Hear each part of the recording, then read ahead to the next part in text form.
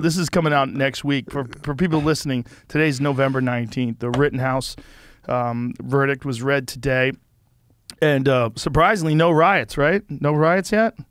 Well, it's early. A, it's early, Yeah. uh, and B, it's a bummer. It's not a good call to to make that call, make that verdict release on Friday afternoon because Right. now you got a bunch of people sitting around on the weekend going, "What are we going to do?" I think, to their credit, there have been a lot of left wing people that have actually read the transcripts and actually paid attention to the true story instead of just the media narrative. And there's a lot of people like Ana Kasparian and Glenn Greenwald's been on top of it from the beginning, but a lot of people have gotten the word out that the version of the story that most people are just spouting out, the headline version without reading this, the, the actual meat of the story itself, is not accurate at mm-hmm. all. His kid's not a white supremacist by any stretch of the imagination.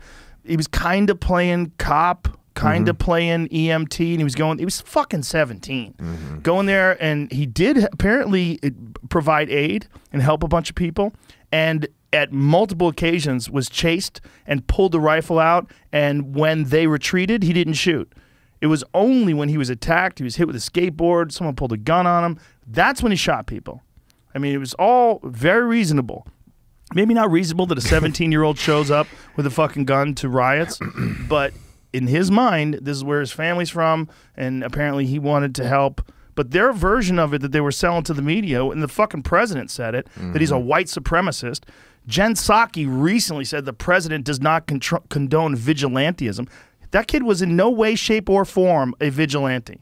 He was not a vigilante. He was armed, but he was protecting himself, and mm. it turned out that that actually ne- he needed it. They actually chased him down. Whether they chased him down because he had a gun, I don't fucking know. But they definitely were fucking chasing him. They definitely hit him with a skateboard. They definitely knocked him to the ground. So maybe enough of the actual story got out where it doesn't seem like a thing to riot for. Because a lot of people also thought he shot black people. Mm-hmm. They thought he went down there. When people found out it was white people, and then when they found out it was fucking pedophiles, that this guy was a straight up, one of the guys he shot, straight up fucking pedophile, child rapist, just terrible person. The other guy, rap sheet, big old rap sheet. One guy, a bunch of his fucking shit was exonerated six days before the trial. Like, what are you doing?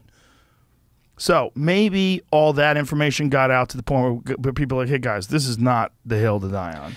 This ain't the one. I certainly like your positive attitude about this. I was I was actually checking out Twitter before I rolled in here, and there are people that are going completely insane right now. And the the the narrative that you just put out, they don't they didn't hear any of it. They only heard the other narrative, which is that this guy, you know, what what's the law There's certain there's certain parts of the line here. You know, this guy was had an illegal gun, traveled across state lines, and shot and murdered two people who were there to protect and support Black lives. That that's Yeah. that's what that's what a lot of people are saying right now. Yeah. So I would love it if Joe Rogan is right right now, and that people are going, hey, you know what? Let's let's get a little bit more nuanced. Let's study this.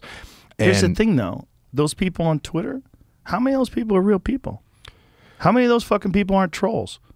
Look, a lot of them might be trolls. A lot of them are trolls. okay, a lot of them are trolls, but there's also real people in there, Yeah. and there's people Uh-huh. that get swayed by this Yep. stuff. And and Yep. when you, you you know, look, don't you talk to some people sometimes that you realize they are watching a different movie than you, A hundred percent. and and it's almost like.